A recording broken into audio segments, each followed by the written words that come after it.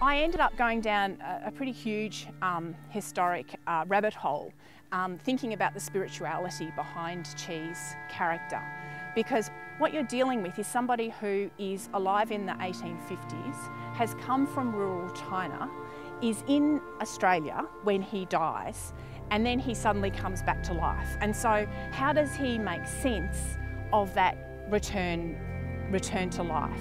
Someone died. Wrong death, wrong place.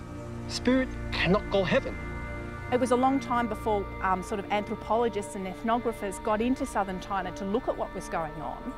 And when they did get there, what they found was that there was just incredible diversity between the different villages in terms of what they believe and, and what they might do. And so in the end, I felt that it gave Glitch a bit of freedom to interpret how that might resolve itself. I am not mad. We are hungry ghosts. Ghosts must be set free. Hungry Ghosts and Hungry Ghost Festival is, is a time when all the unwanted ghosts come out and you placate them because you don't want them to cause trouble while they're out. And then at the end of the festival, they actually all go back in again.